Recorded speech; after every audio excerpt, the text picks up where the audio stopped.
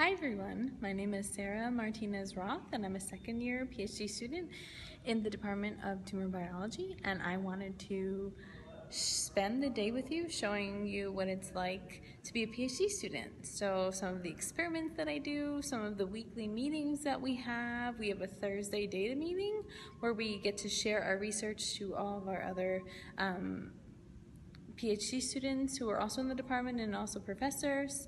Um, and then our th Friday meetings, um, a guest speaker comes in and we do a journal club with them. We get to learn what they're doing in other universities and other hospitals around the country. Um, so I will take you around to see what my day is like, where I do my research, uh, where we have classes, and um, I hope you enjoy. Hi everyone. So this is the beautiful new research building where a variety of different departments are held at Georgetown. This is specifically at the Georgetown University Medical Center.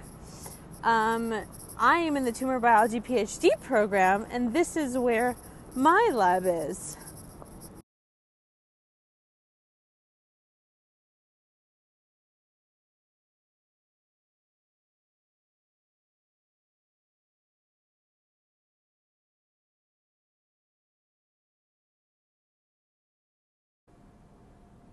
Every week we have a cancer research data meeting where we present our research as PhD students to other PhD students and also to professors in our department.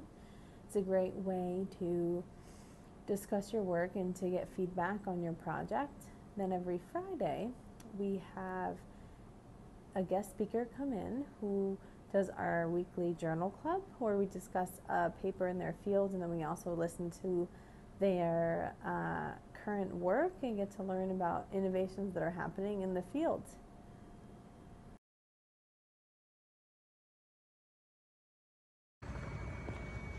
Hi everyone, today is Friday, which means we are having our guest speaker um, and we are having our journal club. So today I will take you along to see those uh, two events that we have. Great.